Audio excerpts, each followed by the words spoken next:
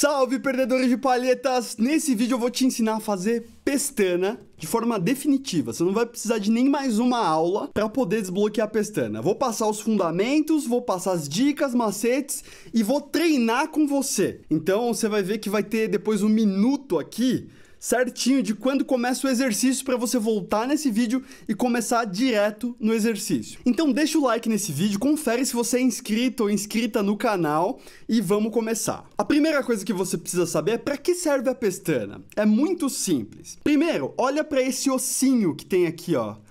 Esse ossinho que no meu caso é preto, na maioria dos violões é branco. Esse ossinho se chama nut ou pestana, como se fosse uma pestana com o dedo, só que é do próprio violão. Então, a partir daqui começa o braço do violão, né? Começa a escala do violão. Quando eu faço uma pestana como essa, por exemplo, a ideia é que a partir daqui começa o violão. Então, só o que é tocado daqui para frente reflete de verdade nos sons, assim como só o que é tocado dessa pestaninha para frente impacta de verdade nos sons. Você conseguiu entender? Então a pestana basicamente é essa pinça que você pressiona as cordas do violão. Mas tem técnica, tem uma forma de fazer que é melhor e tem uma forma que é pior eu vou falar aqui para você. Primeira pergunta que eu quero responder aqui para vocês é o seguinte: pestana é força ou é jeito? Eu não vou ser hipócrita de falar que é só jeito, porque não é, e você precisa saber disso. Pestana é um pouquinho de força e um pouquinho de jeito. Aliás, um pouquinho de força e muito de jeito, mas tem um pouquinho de força sim. Quando você está começando no violão, você normalmente não tem a força suficiente para fazer a pinça da pestana. Então você vai precisar exercitar até ganhar essa força. Mas conforme o tempo vai passando, você vai perceber que você não precisa se esforçar, sofrer demais para fazer. Inclusive, ó, vou fazer uma pestana aqui, ó, sem apoiar o polegar aqui atrás, para você ver que é, ó, meu dedo tá solto aqui, não sei se dá para ver, ó, ó. Dá para você fazer sem o polegar. Isso quer dizer que eu não tô apertando fixamente. Existe todo um jeito de fazer também. Só que, como eu falei, é um pouquinho de força, muito de jeito. Esse pouquinho de força vai se resolver da seguinte forma: você precisa fazer pestana mesmo sem saber fazer pestana. Como assim? Eu vou te passar aqui um jeito de fazer pestana, você vai aprender a fazer e quando você for fazer vai sair assim, ó. O som bem feio e você vai ter que continuar fazendo mesmo com som feio, você vai ter que ignorar que o som tá feio. Esse é o segredo, certo? O primeiro passo para você começar a fazer pestana é ao invés de fazer uma pestana completa das seis cordas, a gente vai começar a fazer pestana pegando algumas cordas só. Então, você vai fazer junto comigo. Apoia seu violão aí na perna direita, que é uh, o nosso estudo de violão popular, tá? No violão popular a gente apoia aqui na perna direita. Presta atenção se você não tá fazendo assim, ó. Se você fizer assim, vai ficar muito mais difícil de fazer a pestana, você vai dobrar o braço. Esse é um erro comum dos iniciantes e dificulta tudo. Então, ó, violão pra frente, certo? E eu sei que vocês estão curiosos a respeito desse violão. Esse aqui é o violão lava, violão de fibra de carbono, muito legal, muito bonito, e tem vídeo falando sobre ele aqui. Então, ó, violão pra frente, certo? Erros de iniciantes também é abaixar o braço do violão assim, ó. Não faz isso. Levanta aqui o headstock, a mão do violão. Pode levantar um pouquinho assim. E aí, se sinta confortável, se sente relaxado. Solta, antes de tocar, solta um pouquinho as mãos assim. E aí a gente vai começar a fazer essa mini pestana. Então, ó, você vai fazer o seguinte, ó. A gente vai começar tocando com o dedo 1 nas cordas 1 e 2 da primeira casa. Então, essa aqui é a primeira casa. Você vai pressionar só a corda 1 e corda 2. Simples assim, ó. E aqui atrás, ó, você vai colocar o seu polegar aqui mais ou menos no meio do braço. Não faz assim para cima e não faz muito aqui embaixo. Faz aqui mais ou menos no meio, certo? Não tenta fazer também tudo perfeito. Vai fazendo, vai regulando, vai sentindo o conforto. Bem, fez aqui a pestana nas primeiras duas cordas, toca as primeiras duas cordas. Com palheta, você pode tocar só com o polegar aqui embaixo, ó, sem problema nenhum. Você pode também tocar como se tivesse com palheta, ó, só pegando as duas primeiras cordas, igualzinho, ó. Tanto faz, você pode fazer das três formas, com palheta, com o polegar aqui embaixo ou com a pinça, certo? O lance é o seguinte: sente quanto de pressão você precisa fazer para poder tirar esse som. Normal o som sair meio normal. Aí uma dica que eu dou: não faz essa mini pestaninha aqui no início da casa. Isso é uma regra, tá? É uma coisa meio comum. Fazer no início faz você precisar de mais força, ó. Tá vendo, ó? Tem que forçar mais. Vindo aqui para próximo do ferrinho, do traste, muito mais fácil. Então, começa assim, começa tocando. Você vai tocar cinco vezes aí. Ó, toca cinco vezes. E agora você vai subir mais uma corda. Agora você vai pegar a corda 1, 2 e 3, certo? E aí você vai tocar. Ah, Herbert, mas isso é muito chato ficar tocando só essa pestaninha, o som nem é bonito. Esse é o exercício, você precisa treinar isso, você precisa exercitar isso e faz parte, meu. Você vai ver que o ensino do violão, o aprendizado do violão, ele tem essa parte um pouco de exercícios que são monótonos, mas que vale muito a pena porque você vai conseguir tocar as músicas que você quer tocar. Então, é desse jeito. Agora a gente vai subir mais uma corda, certo? E vai tocar, você toca cinco vezes aí. O mesmo esquema, você vai subindo. Nessa que você está fazendo aqui, aqui já é uma pestana bem interessante, né? Você tá pegando as cinco cordas. Vai remanejando seus dedos para ficar confortável. Se você quiser, você pode colocar o seu dedo 2 em cima do dedo 1 um, para poder ajudar na pinça, na força. E aí você faz. Isso aqui é um reforço que você pode fazer por enquanto. E agora você vai pegar todas as cordas, ó. O som tá feio? Faz parte. Isso aqui que eu tô fazendo é só uma preliminar da pestana, só para você sentir como é que segura, como é que faz. A gente vai fazer um exercício passo a passo para você desbloquear a pestana e você vai repetir durante 5 dias. É simples assim. Você vai voltar no minuto que começa o exercício e vai repetir durante 5 dias e você vai desbloquear. Agora eu vou te passar dois acordes. Um acorde é com pestana e o outro é sem, para você ter um descanso porque vai ser um pouco estressante. A ideia é estressar. Você vai sentir dor. Muitas pessoas sentem nessa região, algumas pessoas sentem no polegar, sentem em alguns músculos aqui na mão. É normal, você está estressando uma musculatura. Isso, esse estresse vai fazer você conseguir ter mais facilidade depois. Então vamos lá. O primeiro acorde é de Dó maior e o segundo acorde é de Fá maior.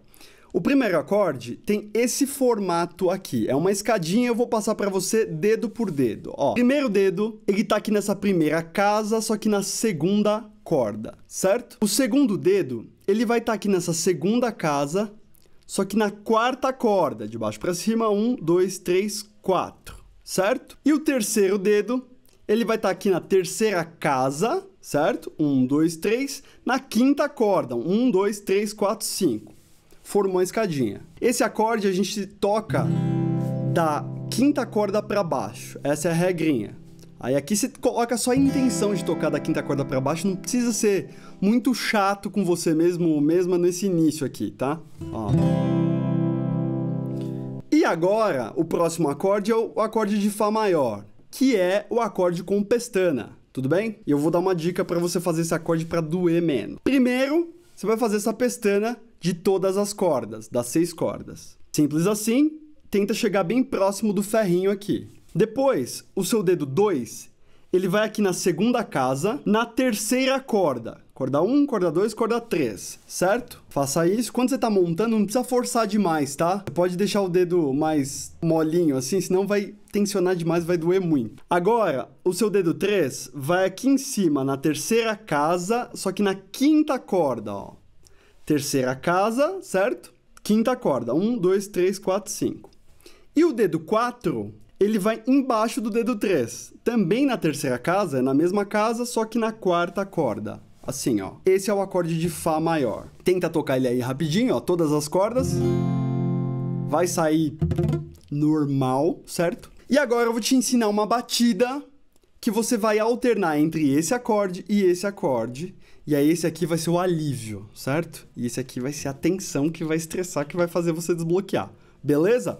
Eu vou treinar com você com a palheta. Vou te passar a batida aqui, eu vou treinar com a palheta. Aí, como eu disse, você faz do jeito que você quiser. Então, vou começar a ensinar a batida com o dó maior, tá? Você vai fazer o seguinte: primeiro você vai fazer uma batida longa para baixo, ó.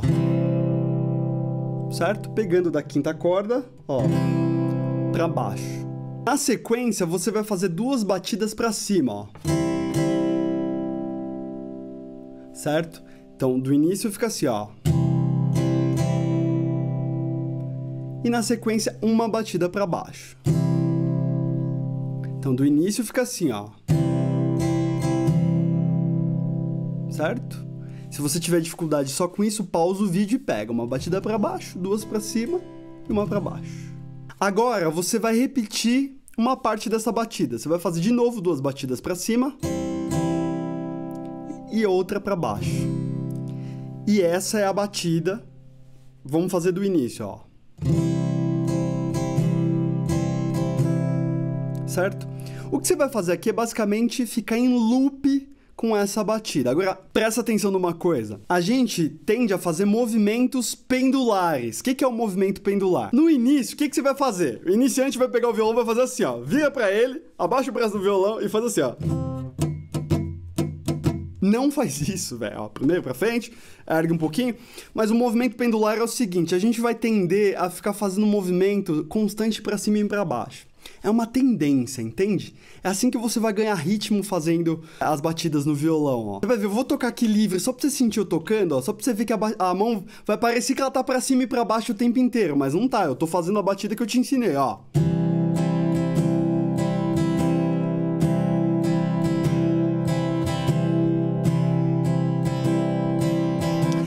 No vídeo para te explicar quem é essa moça aqui. Essa aqui é a musa do violão, ela está no computador agora. E dá um tchau pro pessoal.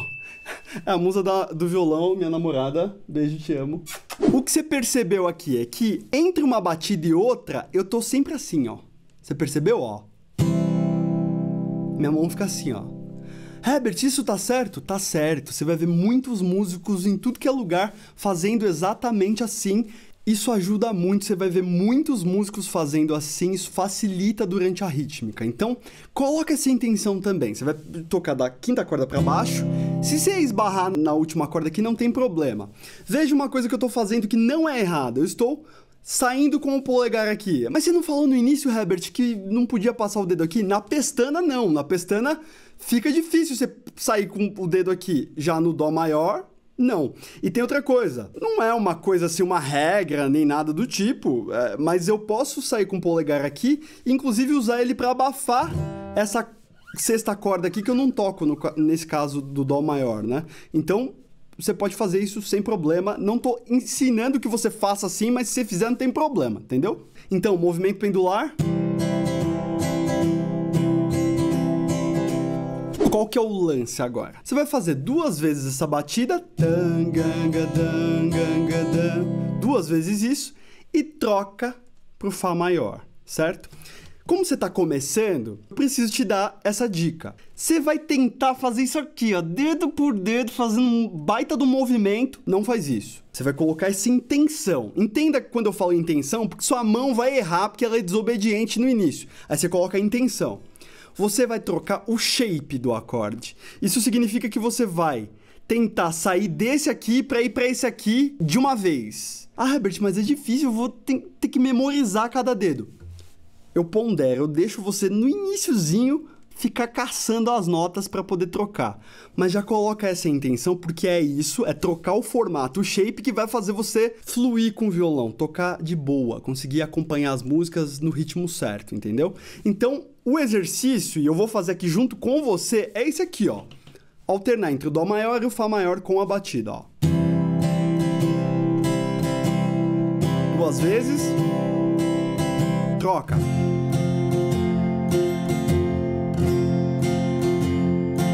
E volta, certo?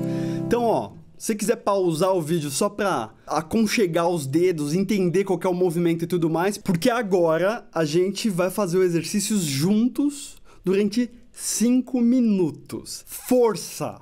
Você é um guerreiro ou uma guerreira. Você vai conseguir fazer. Vai doer o dedo. Não pode parar. Tem que fazer até o final. E aí você volta aqui em mais quatro dias. Você vai fazer cinco dias consecutivos. E você vai ver que você vai desbloquear a pestana. Vamos lá? Então, 3, 2, 1, vamos lá.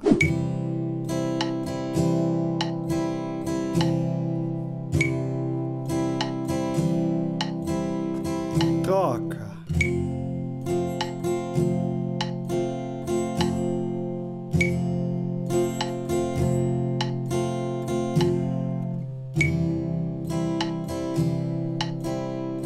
Pendular, hein?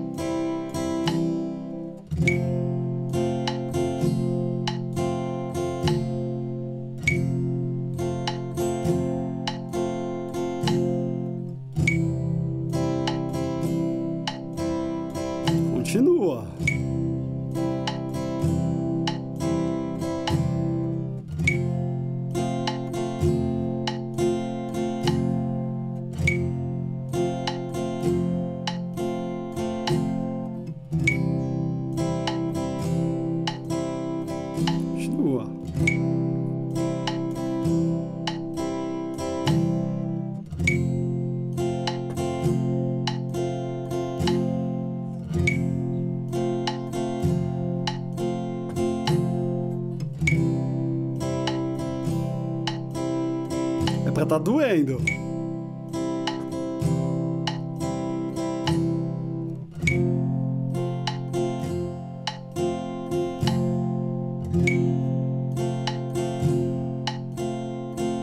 Estamos chegando na metade.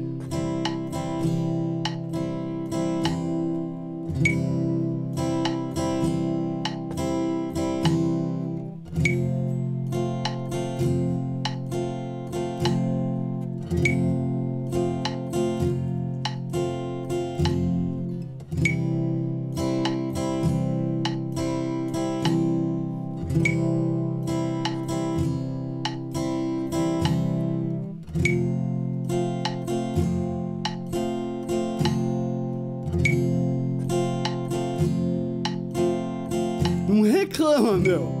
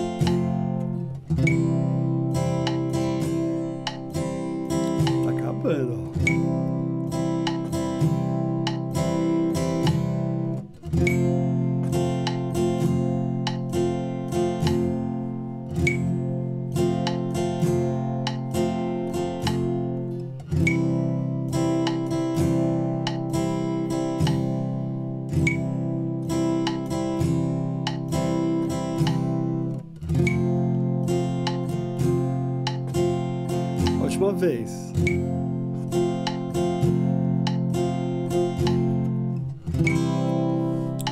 Aí.